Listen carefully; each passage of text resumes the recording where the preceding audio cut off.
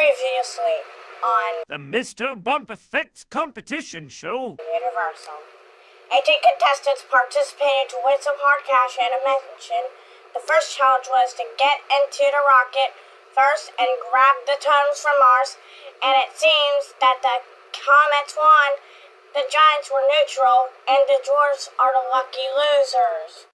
Also, the question is that have these 18 contestants got what it takes to win? Let's find out on this episode of The Mr. Bump Effects Competition Show. Universal.